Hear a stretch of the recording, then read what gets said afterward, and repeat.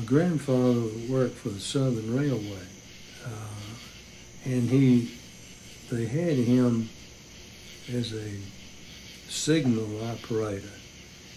And then on the Indian Mound here in Florence, they had a tower. His job was to keep the train and the streetcar from getting on the railroad bridge at the same time. So he would hold the streetcar up top the hill at Florence if there was a train due until the train went by and then that streetcar come and go across.